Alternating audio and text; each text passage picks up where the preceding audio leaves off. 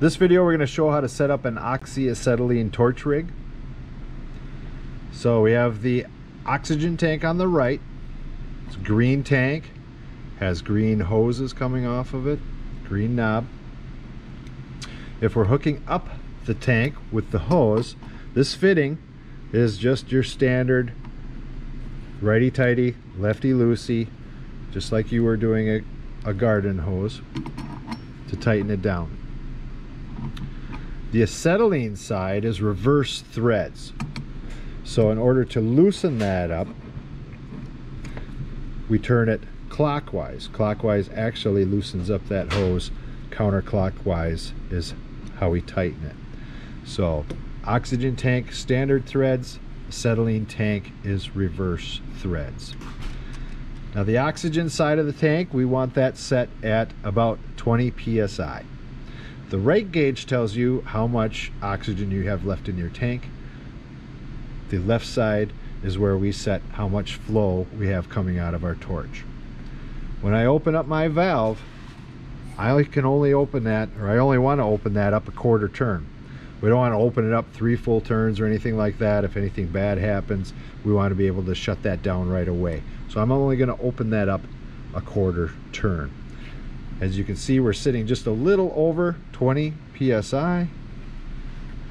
But if I open up my hand valve on my torch rig and open up the oxygen side, when I have flow coming out of there, we're sitting at 20 PSI. On the acetylene side, we can tip this down. Same thing. I only want to open that up a quarter turn just enough. Pressure is pressure on this gas, so a quarter turn is the same as two full turns. So we're sitting there at about 8 P. We're going to open this up, drop it down, so it's sitting at 7. So we want 7 on the acetylene side, we want 20 on the oxygen side. Make sure all your fittings are connected.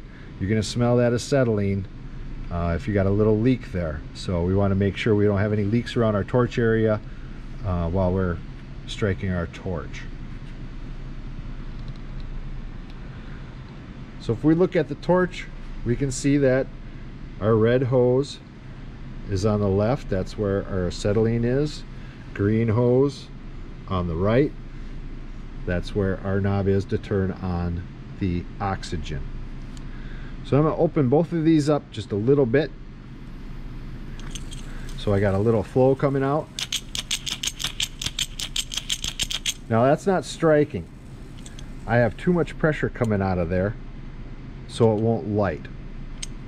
So when we do this, we want to just open them up just a little bit. We don't want it really blasting out of there. I strike it with my striker I can adjust my acetylene. See how we get that center blue tip to lengthen. If I adjust my oxygen, we actually bring that blue tip back, but the torch has a much hotter flame. So that's about how much of a flame we need for a lot of the stuff we're doing in here. But I want to shut that off. I'm just going to shut off the oxygen side and then the acetylene side. So that's how you set up a oxyacetylene torch rig.